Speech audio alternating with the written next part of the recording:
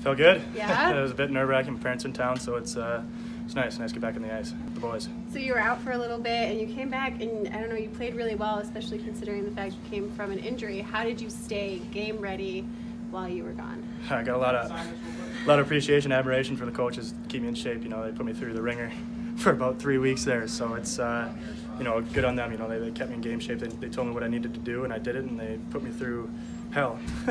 so uh, that's how I stay in game shape. Yes, um, what are you looking forward to continuing to grow with as the weeks go on? just stay, uh, master my game, you know, master my craft, uh, below the top circles, continue my game, and continue scoring. Yeah. Great. How was that goal off your skate today?